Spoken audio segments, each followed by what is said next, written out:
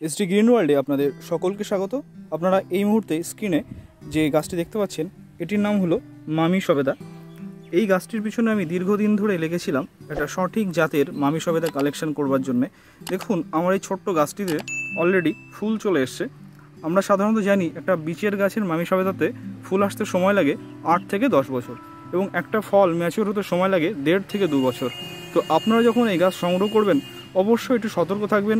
যে গাছে ফল ধরেছে, সেই গাছের চারা কালেকশন করতে। আদারওয়াইজ যদি আপনারা কনফার্ম না হন, তাহলে অবশ্যই এই ভ্যারাইটি থেকে বিরত থাকবেন। কারণ দেখুন, এটা প্রচণ্ড এক্সপেন্সিভ একটা ভ্যারাইটি মামি সবেদার, অনেকগুলো ভ্যারাইটি লক্ষ্য করা যায়। তার মধ্যে অন্যতম হলো ম্যাগেনা, লরিটো, তাজমুল কিওয়েস্ট বা প্যান্টিন আপনারা আমার যে সংগ্রহ ভ্যারাইটিটা দেখতে পাচ্ছেন, এটার নাম হলো কিওয়েস্ট বা প্যান্টিন এটার সাইজটা রাউন্ড শেপের হয়ে থাকে এবং একটা গাছের যে ফলগুলো হয়ে থাকে ম্যাচুয়ার গাছে, সেগুলো মোটামুটি দু কেজির কাছে এভারেজ ওয়েট হয়ে থাকে। তো বুঝতে পারছেন, দু কেজির কাছে একটা এভারেজ ওয়েট মানে যথেষ্ট ভালো সাইজের একটা ফল। এটা হয়তো পশ্চিমবঙ্গের হয়তো সর্বপ্রথম ভিডিও যে আপনারা তো ছোট্ট একটা টবের গাছে মামি সবাইতে ফুল আসতে দেখছেন।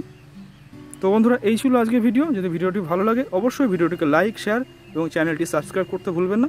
দেখা হচ্ছে পরের ভিডিওতে